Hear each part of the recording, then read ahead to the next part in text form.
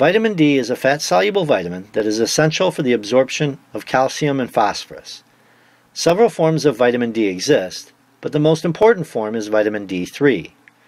While there is a lot of research on vitamin D, the most conclusive finding is its benefit to bone health. Deficiencies in vitamin D can lead to weak bones and possible fractures. High levels of vitamin D intake can lead to elevated calcium and phosphorus levels, which can cause nausea, headaches, and calcification, the buildup of calcium salts, of the heart, kidney, lungs, and in the ear, which can lead to deafness. Vitamin D can be produced naturally from sunlight exposure as the UV rays induce the body to manufacture vitamin D from cholesterol. The amount of sunlight needed ranges from about 5 to 20 minutes two times per week. The darker the individual skin color, the longer amount of time is needed. The use of sunscreen absorbs or blocks UV rays, which will affect the body's ability to produce vitamin D.